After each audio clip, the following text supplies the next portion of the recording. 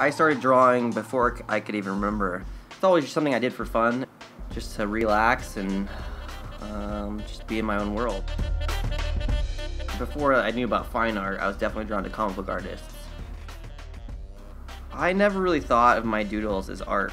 The ones that I did in the bindings or in between drawings characters.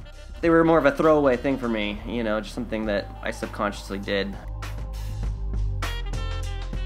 It's shifted from illustration to painting between the drawings and the sketchbook.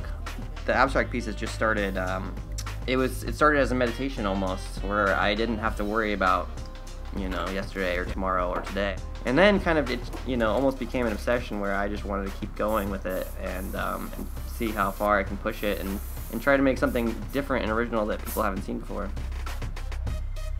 And I, I try not to think about where it's going or what I'm doing and I just don't stress myself out about work or my love life or you know rent or any of that stuff. Each piece is totally different, and they they each represent something different to me, and they're definitely reflective of my mood. So if I'm having a really good day, you know, they're gonna be brighter and happier. Whereas if I'm having a really dark day, they're gonna be a lot darker. I had been really depressed for a while, and I just wanted to try something different.